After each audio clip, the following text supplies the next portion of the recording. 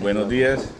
Eh, bueno, es, es satisfactorio para de, de dinero de la campaña en pro de Alejandro Sinisterra. ¿sí? En la parte de, de, de recaudo del estadio, desafortunadamente a pesar de la buena asistencia de público al estadio, solo se recogieron 3.000 3.965 pesos, 3.965.000 pesos.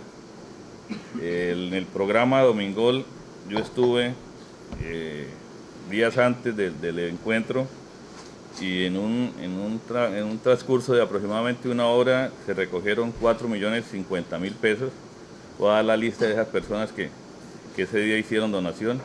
Ron Viejo de Caldas, a través del señor Diego Mora, 500.000 pesos. Almacén CD Sport a través de Josué Tristancho, 500 mil.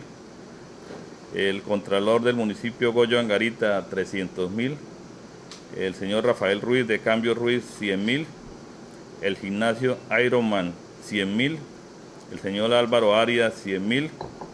El señor Orlando Matamoros de Casa Hong Kong, 300 mil. El doctor Antonio Manrique, 500 mil pesos el señor Javier Labrador de Cambio Hunter 100 mil y un jugador de Cali, Horacio Ferrín, 200 mil para un total de 4 millones 50 mil.